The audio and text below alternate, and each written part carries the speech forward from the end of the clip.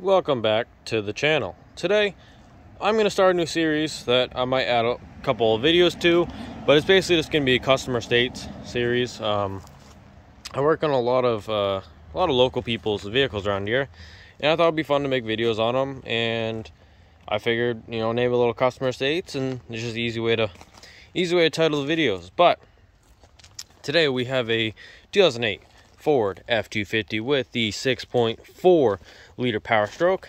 Um, bought this at a wholesale lot. It's been deleted, even though it's been both of them EGR. Even though it still has the EGR mechanism, I'm hoping that it has a tune here to, to disable that because the EGR coolers are blocked off and the uh, DPF is gone. Now, he came in here. Well, let's do it. Customer states low boost and a lot of black smoke. Um, now, here and that, I didn't really. There's a, there's a lot of things that could be going on. now, one of which, when you delete the EGR, it has. You can see it. Let me get a light. Um, you can see that top of the EBP. That's your exhaust back pressure sensor. That goes right down into your up pipe, where you can see that stainless tube where it goes into your um, that upright elbow that hooks up to your old EGR cooler. Now, those are known to clog up with soot over time, and then sensor won't read correctly. Uh, he replaced that because he thought that was going to be the issue, and he, he says he gained a little bit back, but not really much. Now, my next thing is that it might be a map sensor. Given a bad air read, I'm going to take the uh, top of the air filter housing off and check to see what the filter looks like. But uh, concerning the black smoke, um, I don't. Now it's not it's not out of the tailpipe from what I can tell. He said it's uh under the engine bay area, and my mind went to a cracked up pipe. Now I looked at this before, um, just for a couple seconds, just looking at it. First, I wanted to see because this is a very different turbo actuator than what mine had when I saw it at a 6.4. I don't know which one's the updated version, but I know they had an updated part number for this actuator. Now, it does say Reman on top on the sticker. Get that for you. But, so at one point, um, at least the turbo or at least the actuator was replaced. Now, I'm curious if the whole motor was replaced. Um, he doesn't know. He bought it from wholesale lot. Truck is from Kentucky originally. And I'll get you seeing here. But before I checked it with someone else and they turned the key, um, if you cycle this and you can hear it, sometimes your uh, the turbo actuator move. You want to make sure that it, it, it does its full cycle back and forth. Uh, that is the vacuum pump. I don't remember mine ever being that loud. I don't know if that's a sign of failing of those. I don't really know much about those little vacuum uh, boosters, but um, anyway, I'm going to show you, I'm going to show you what I found. I'm just going to cycle it again. It is a little cold this morning. Not that this is really cares that much, but you see the glow light and uh, the glow plug light, and uh, it's gone. Sounds good on crank. Very quick, no stuttering. And for the most part, it sounds good. Now you can hear that ticking. That ticking breath, but I was gonna say you can see a little haze, but I think it's just my breath shining. Now I'm gonna close this. And I'll show you what I have found.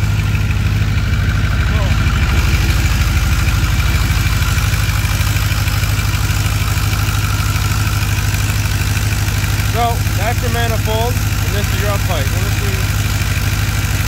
Um, the sound, and if you look up the block, that is, well, if you can see it. That whole back of the block is all covered in soot. But if I put my hand up here, I can kind of feel, I can feel the air coming out. So now it's just a matter of finding where it's coming out at. Feels like it's coming out down here too. You just gotta find out where everything is coming from. I'm kind of suspecting that this gasket is bad, but I do not know for sure yet. Small city up there. I'm trying to feel where it's coming from, but we'll see. Everything looks okay. I felt it the other day and I thought I could only feel it from up top, but now I feel like it's coming, I'm getting a, a little draft, because I feel like it's coming back around, but we'll get out of here real quick. Oh. Drawing up from under here. But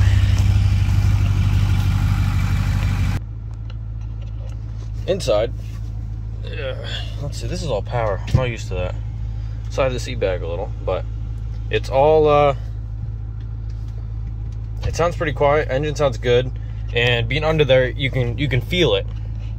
Now this does have 211,000. Now, if this was the original motor, I'd say he's a lucky one to have his motor not uh not be dead.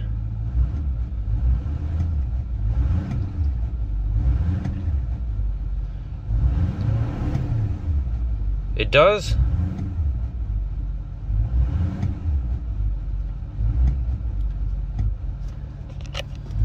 It, kind of sounds like his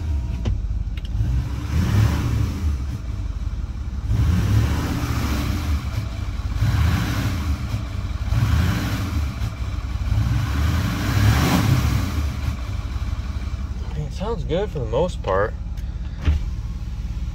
There's just when it's coming down around that around that like 1.25 area about the 1250 is about where there's like that little blip.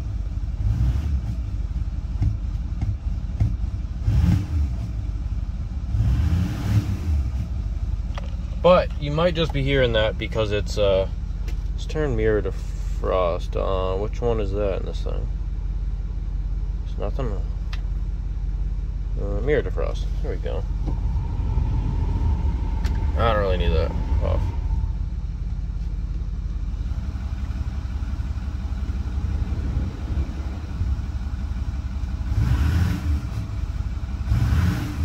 I'm curious about that.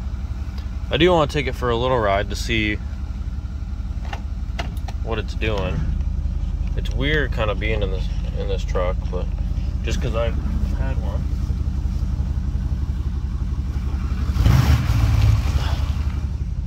Yeah, before I back it off the edge here.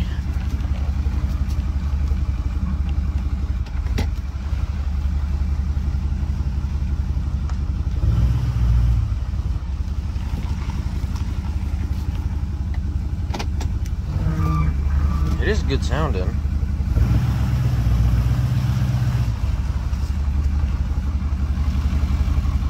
Sounds good, seems healthy. Kinda, I definitely need this defrost too, actually.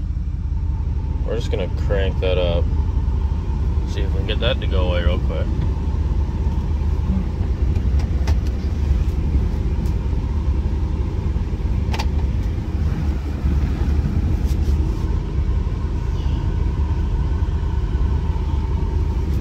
Guys, I can't see that well with it.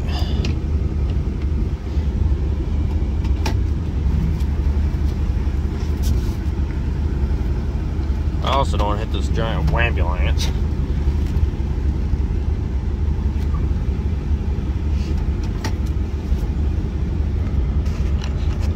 So, we did a little pause. I was giving it probably here a couple minutes, see if it uh, would defog at all.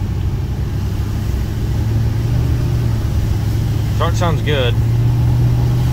But yeah, he's definitely not building boost. And he is it's hard to see.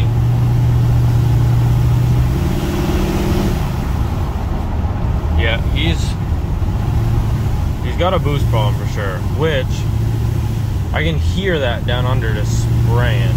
Now, if this was a cracked up pipe, I'd be able to I think because it's right in the middle, so it would be kind of I'd be able to tell immediately.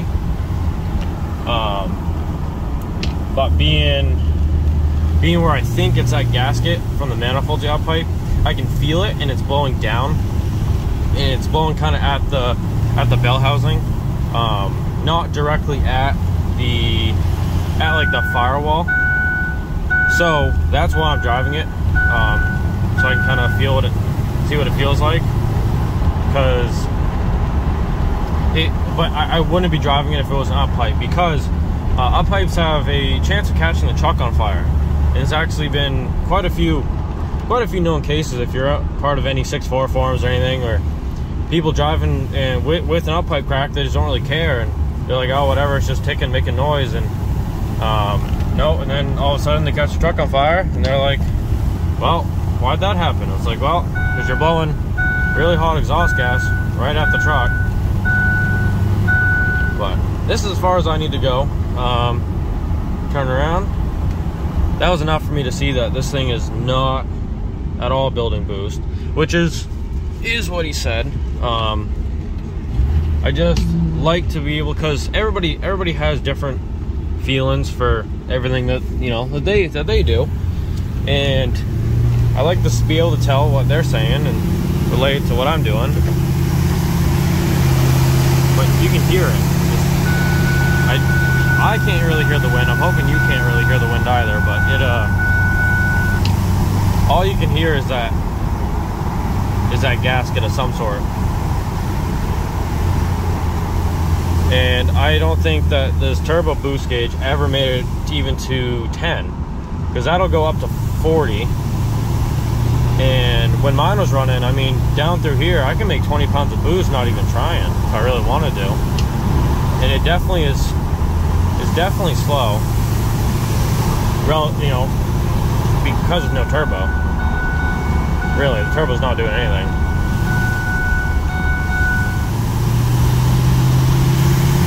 I mean, I'm at I'm at 40. The exhaust should be screaming right now. It's not. There's no turbo. There's no exhaust. There's no no nothing, and it is blowing a pretty decent amount of smoke out the uh, out the tailpipe too. So Well, let's see. I'll probably go up there and I'll back it into the spot instead of drive in. Makes it easier in general, but I'll uh, get back with you. So to end the video here, I'll just do a quick little walk around and show you this beautiful truck. And it is straight as can be. Now, I'm going to end up calling the customer and letting them know I think is that gasket. And you can immediately tell it's deleted. That thing should scream.